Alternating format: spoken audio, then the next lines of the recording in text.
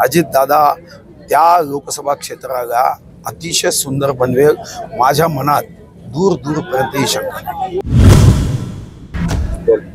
अ, भाऊ इंदापूरमधल्या एका सभेमध्ये अजित पवार असं म्हणाले की तुम्हाला वाटेल तेवढा निधी आम्ही देऊ पण त्या तुलनेमध्ये बटना दाबा. नाही मग स्वाभाविक आहे ना. अहो निवडणुकीमध्ये जर तुम्ही निवडून दिलं नाही बीज बोगे बबू के तो बेर का असे आहे तर लोकांना हे समजून सांगण्यासाठी ते म्हणाले की बा केंद्रात आमचं सरकार आहे राज्यात आमचं सरकार आहे आणि गणित साधा आहे. तुम्ही एखादा मोबाईलमध्ये सिम कार्ड टाकता. तुम्ही काय बघता? ज्याचा टावर ज्याचं नेटवर्क ज्याचे सिग्नल चांगले आहे तो सिम कार्ड टाकताना आता जर विश्वगौरव देशगौरव गरीबो के मसिया जे आपल्या देशाला परिवार जनो असं संबोधतात त्या विश्वगौरव नरेंद्र मोदीजींचा विकासाचा टावर असेल आणि सिम कार्ड हा काँग्रेस किंवा शरद पवार साहेबांच्या राष्ट्रवादी गटाचा टाकला.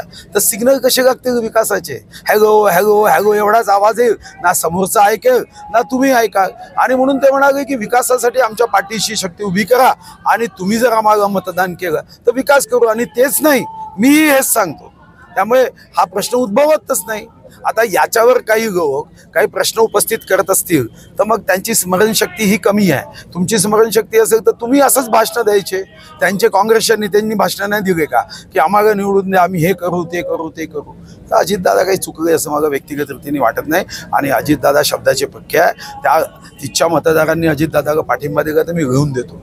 अजितदादा त्या लोकसभा क्षेत्राला अतिशय सुंदर बनवेल. माझ्या मनात दूर दूरपर्यंतही येऊ शकतात देश विदेशातील प्रत्येक घडामोडींचे लाईव्ह अपडेट मिळवण्यासाठी आता साम टीव्हीच्या सर्व सोशल मीडिया प्लॅटफॉर्मला लाईक फॉलो आणि सबस्क्राईब करा.